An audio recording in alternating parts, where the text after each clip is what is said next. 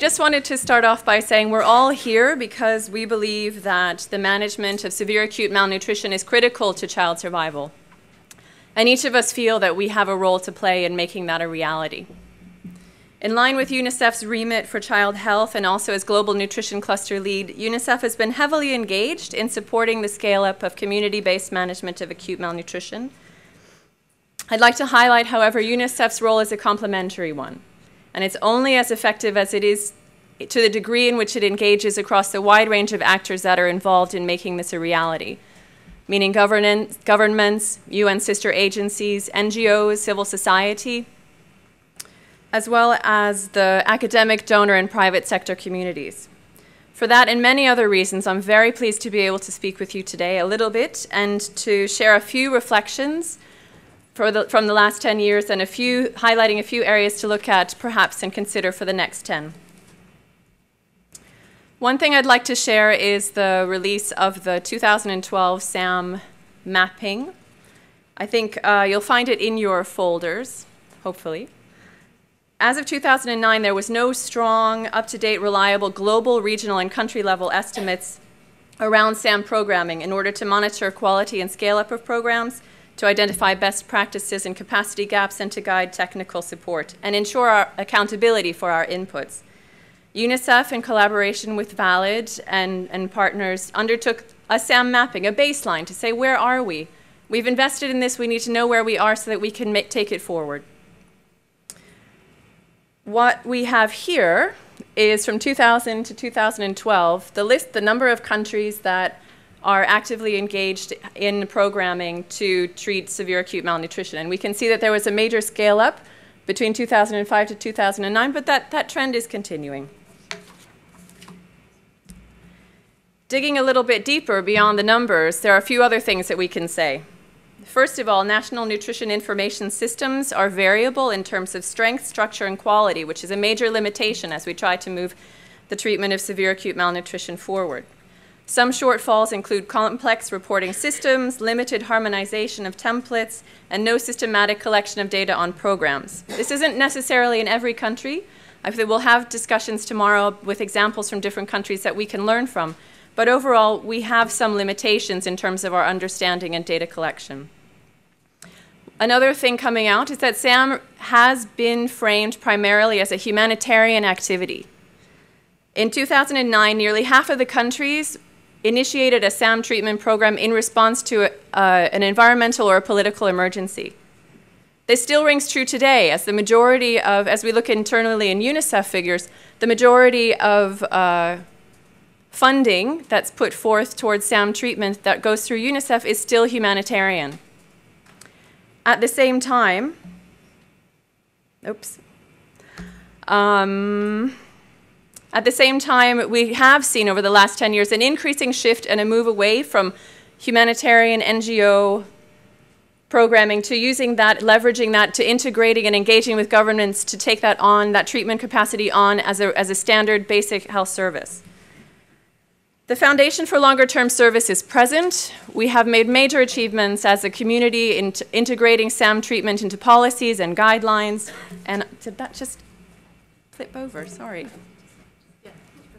Okay. But at the same time, key bottlenecks remain in terms of the application around actual costed action plans and funds for implementation, around national curriculum that integrates SAM treatment into national capacity and uh, a number of different issues around supplies and, and, and engagement at community level.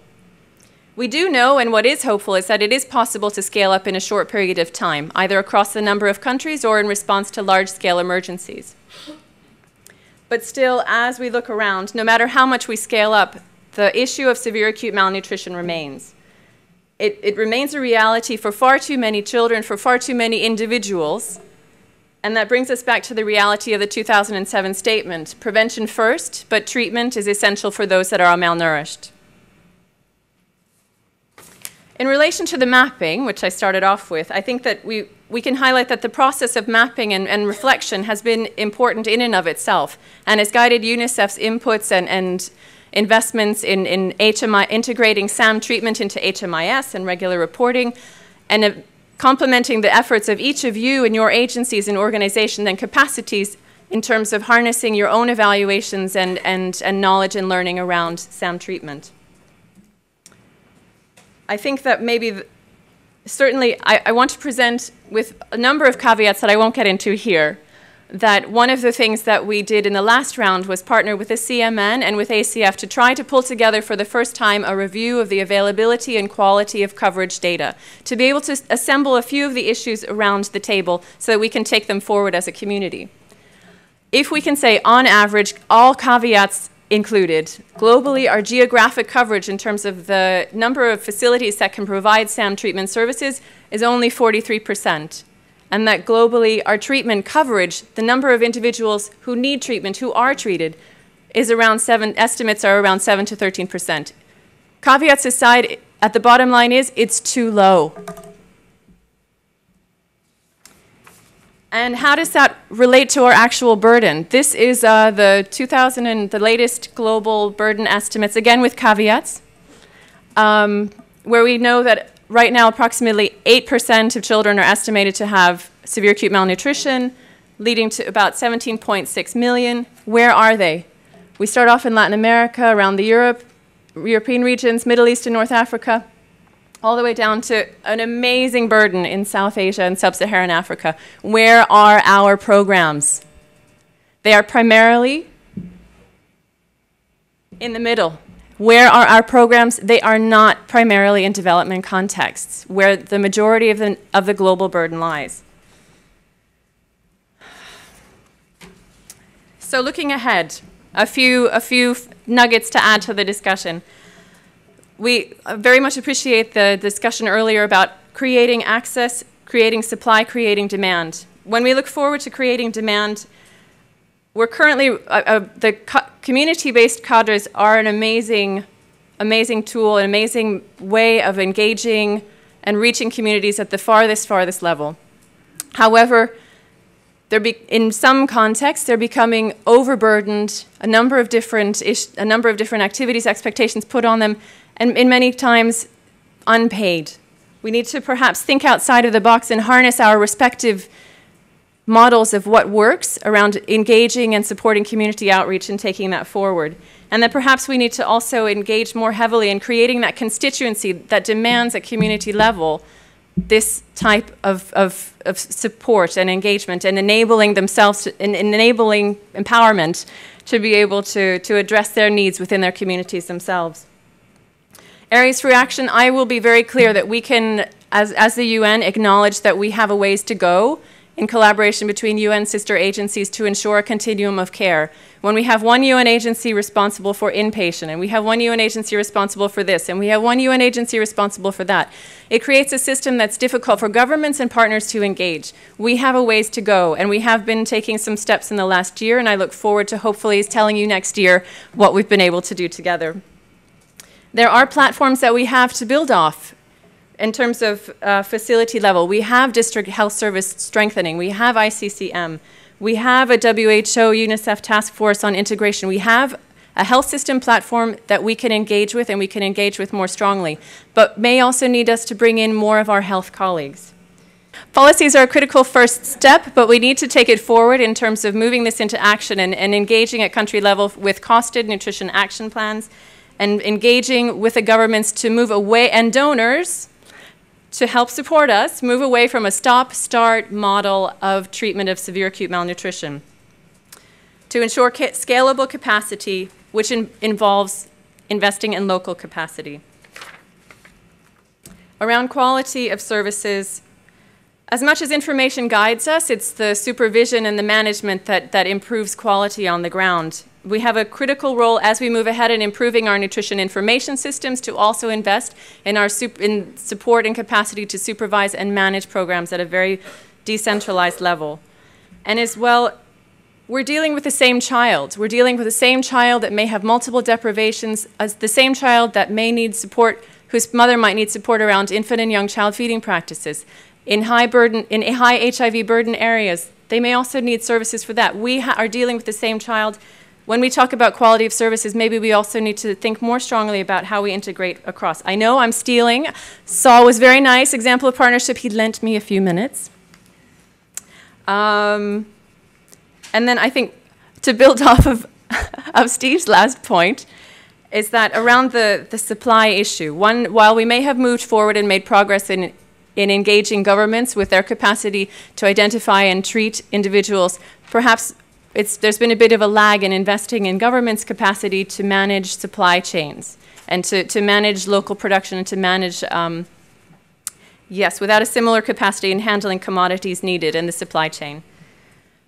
I do have to say, I mean, I think we can acknowledge there is an increasing production capacity for RUTF. I think that UNICEF has a, as a very much a large procurer has a specific role to play. I acknowledge that progress has been made, but we can go further. I think there, there are certainly issues that we can, we can bring to bear. I think a few things just to raise, highlight a few challenges is that product specifications to date have often are non-existent. Were conceived without consultation necessarily with food technologists. what? Keep going. Okay. And food purchasers, and I think that there are a number of this raises a number of complications for actually the import product registration and production. I think there is hope. There's a lot of exciting research, and that we need to continue to move forward to expand that toolbox in terms of local supplies, options, and engaging in government capacity to manage that, and as well, not leaving aside the very important role of uh, ensuring routine medications are available as well. For nutrition information, I think the the highlight points are that we need to continue to invest in our nutrition information, addressing methodology issues, addressing uh, better use of and analysis of data, and also, at the end of the day, building off of existing systems, bringing in additional components, strengthening what's there so that we can um, effectively know where we are and where we're going and monitor what needs to, monitor and identify what needs to be done. In terms of the global SAM mapping, one particular area is reviewing and consolidating a bit around our, our geographic coverage, how we define that and then improving treatment coverage methods, which I will leave to you to discuss. And then, I guess, in summary, coming back, I, I think it, it touches back on the advocacy issue. Addressing severe acute malnutrition is not an either or. We are addressing multiple forms of undernutrition in the same communities, in the same child we have a number, a lot of, we have increasing evidence about the number of number of bouts of wasting contributing to stunting. I think it's not an either or. How do we move that forward? It means working and collaborating more closely within the nutrition network to ensure that we are integrating across nutrition specific. It's integrating more and engaging, in, uh, articulating our engagement with nutrition sensitive and improving the conditions in which individ individuals live.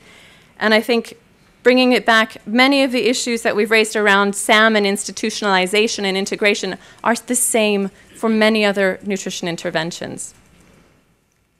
So I think that it just brings us back prevention first and all that that entails, but treatment is urgently needed for those who are malnourished.